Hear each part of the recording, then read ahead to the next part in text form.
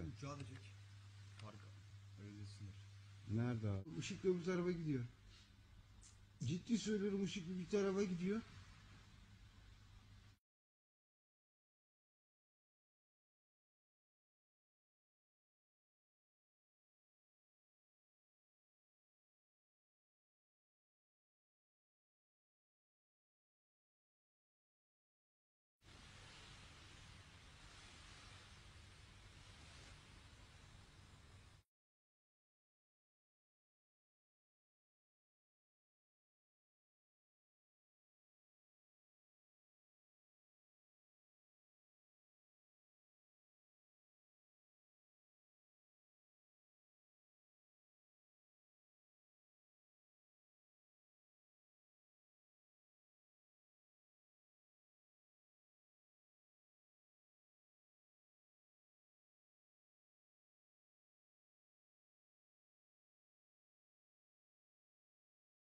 There was a bright full moon, and below uh, the moon was this little bright spot. We didn't know what it was, and we were filming out uh, over the water.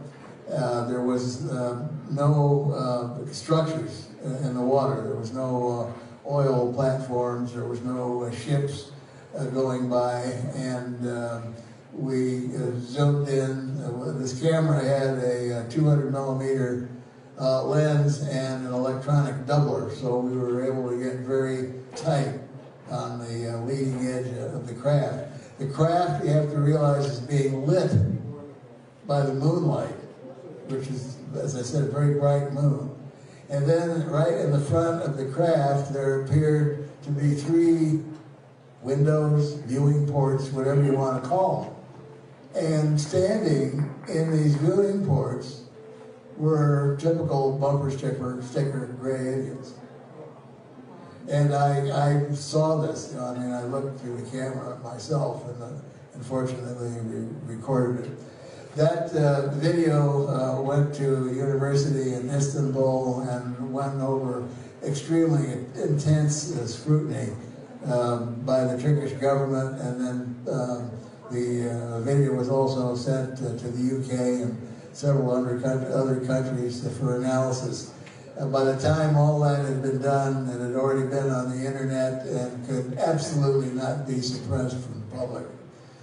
Uh, recently, uh, this year, uh, the video was uh, given to a, uh, a uh, analyst in Chile, and he did another review of the film. But this time, instead of concentrating on the craft, he concentrated on the occup- occupants. And on my website, alienscalpel.com, you'll see the entire uh, Chilean uh, analysis.